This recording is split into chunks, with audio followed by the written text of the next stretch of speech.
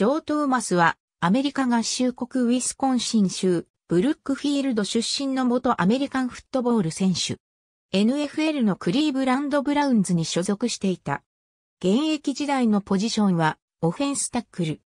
デビューの2007年から9年連続でプロボールに出場し、ロックドールプロファーストチームに選出されているリーグ屈指のレフトタックルである。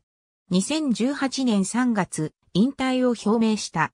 2003年に地元ウィスコンシン大学に入学。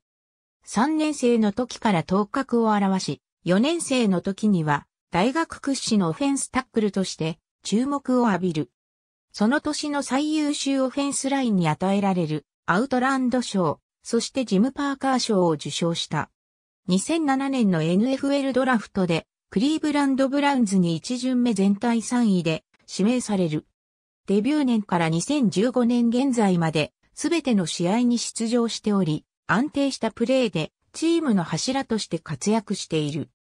2011年に7年8400万ドル、4000万ドル保証のオフェンスラインの契約としては、史上最高額の大型契約に合意した。フィジカルで相手を圧倒するパワーはないが、正確なポジショニングと長い腕を巧みに使ったプレーで活躍している。ありがとうございます。